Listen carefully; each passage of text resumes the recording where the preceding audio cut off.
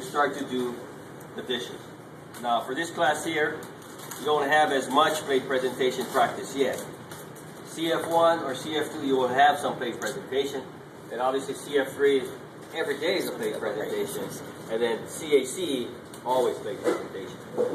So it's going to be really important how you set yourself up to do your presentation that we're going to be working with. And a lot of you probably are familiar with a Denny style or with the uh, Marty style, right? Where it's, uh, there's nothing wrong with it. Um, you have your vegetables at uh, 10 o'clock, you have your starch at 2 o'clock, and you have your, your uh, proteins at 6. Okay? That's good. There's nothing wrong with it. However, in the modern times, now in the today's cuisine, there's a lot of minimalist type of plating. So it means, quote, less means more on a plate. Okay?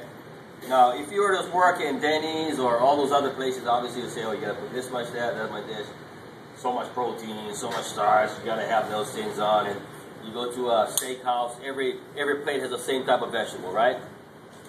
Broccoli and carrots. Limp broccoli. Okay? Broccoli, carrots, broccoli, carrots. Everything's the same. Okay?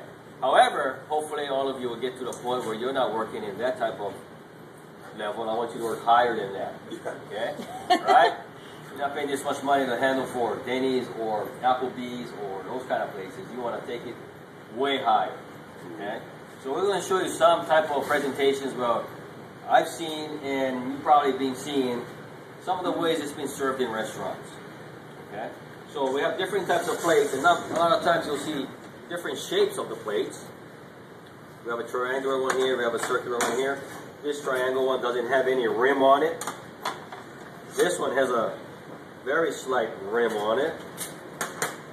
This triangular plate, did you see her? Yeah. Okay, we'll wait to the end of it. No rim on it, and then you have our standard 10, 12 incher. Okay? This is a rim that we want. Okay? So whenever we start to uh, present, one of the things you have to look at is that you are the artist. Okay? The artiste. This is your canvas.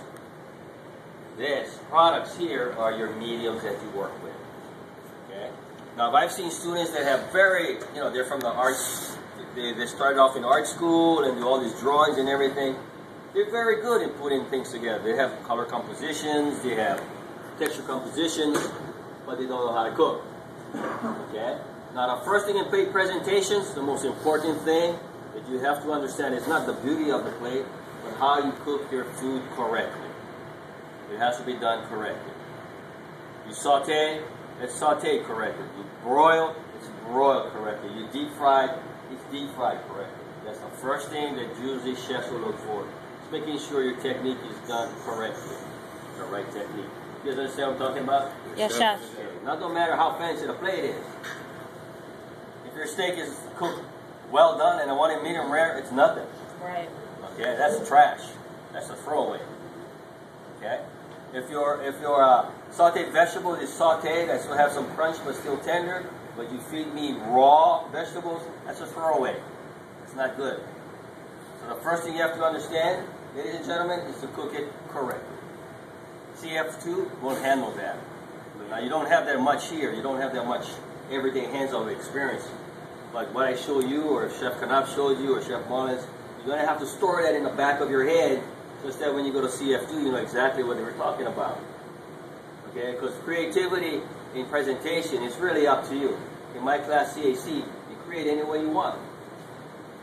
But there's certain guidelines before you can start the creation, the, uh, the plating up process.